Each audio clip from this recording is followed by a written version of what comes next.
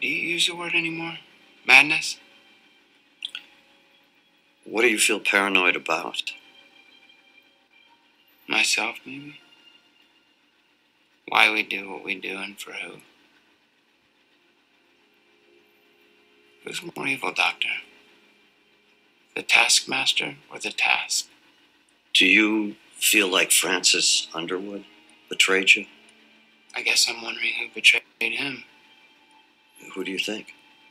You?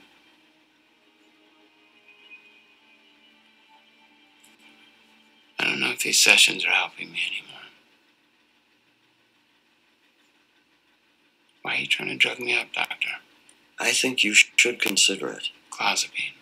You must know what that does to a person. They're a new class of antipsychotics. Like the side effects are not as sensational as some of the older ones. You don't have to suffer like this. From my understanding, the side effects themselves can make you look. And again, I'm asking you if you use the word mad. Are you fucking kidding me? Pardon? You're gonna talk to me about side effects while you look at your fucking clock. No. You're right. I'm sorry. We're going to have to take this up tomorrow afternoon.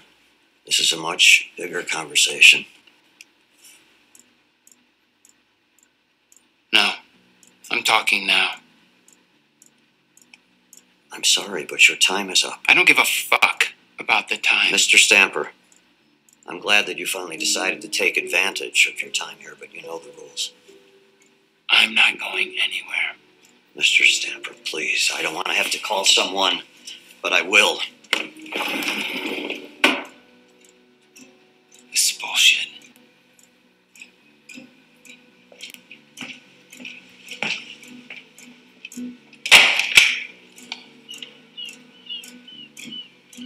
Uncle is not happy.